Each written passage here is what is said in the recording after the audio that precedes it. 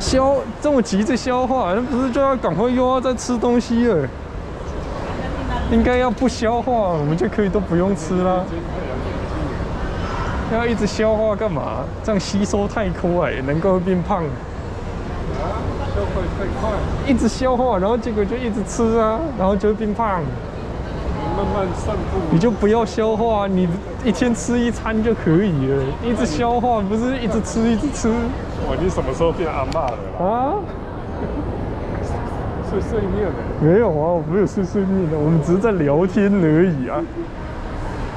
那那如果你这么讲，你应该吃完你就要回家躺在床上啊。就跟鸡鸡一样啊，不是吗？你看他一天吃多少，这才吃一滴一滴啊，那就是哇，不要消化就长这样啊。他吃蛮多的，他吃蛮多的哇，他不是吃一口就没了，他怎么变吃很多？